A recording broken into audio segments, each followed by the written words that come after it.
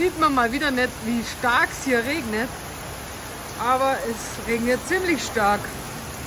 Also sozusagen furchtbar stark. Aber? Ja. Aber wir sitzen trocken an einem Bahnhof in Bozen und äh, südwärts, Verona, schaut das Wetter gut aus. Also werden wir uns jetzt mit dem Zug das wieder ein Stückchen südwärts begeben, weil da wird es in den nächsten Tagen weiter regnen, weiter regnen. Also auf in Richtung Rovereto haben wir jetzt angedacht, da schaut es ganz gut aus.